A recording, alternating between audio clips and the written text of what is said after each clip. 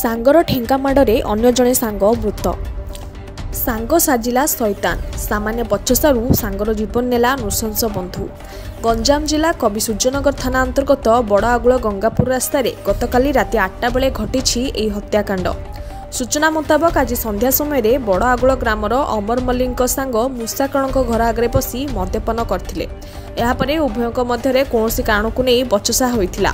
କ'ଣ ଚାହୁଁଛନ୍ତି ଆଜ୍ଞା? ଆଉ ସେ ମୁଁ ଯାହା କରିନି ତାକୁ ଦୋଷୀ ସାବିତ କରିବାକୁ ପଡ଼ିବ ଆଉ। ଆଉ ମୂଷା ତ ଡାଇରେକ୍ଟ କହୁଛି ଆଉ। ସେ ମାରିଛି ଆଉ। ପରେ ଏହା ଉଗ୍ର ରୂପ ନେଇ ମୂଷାକଣ ଅମରଙ୍କ ମୁଣ୍ଡକୁ ଠେଙ୍ଗାରେ ଆକ୍ରମଣ କରିଥିଲେ। ଫଳରେ ଗାଁ ଦାଣ୍ଡରେ ଟଳି ପଡ଼ିଥିଲେ ଅମର। ଗ୍ରାମବାସୀ ଓ ଅମରଙ୍କ ପରିବାର ଘଟଣାସ୍ଥଳରେ ପହଞ୍ଚି କବି ସୂର୍ଯ୍ୟନଗର ପୁଲିସକୁ ଖବର ଦେଇଥିବା ବେଳେ ପୁଲିସ ସେଠାରେ ପହଞ୍ଚି ତଦନ୍ତ ଆରମ୍ଭ କରିଛି। ନା ନାଇଁ ତାଙ୍କର ସେମିତି ନାହିଁ ସବୁ ଦୁଇ ଜଣ ତ ମଦ ପିଅନ୍ତି। ମଦ ପିଇକରି ସାଙ୍ଗସାଥି ହୁଅନ୍ତି କ'ଣ ହେଇଥିବ କ'ଣ ଆଉ ସେଇଟା ତାଙ୍କ ଦୁଇ ଜଣ ହିଁ ଜଣା। ଗଞ୍ଜାମରୁ ସନ୍ତୋଷ କୁମାର ସେଠୀଙ୍କ ରିପୋର୍ଟ ଏସିଆ ନ୍ୟୁଜ୍।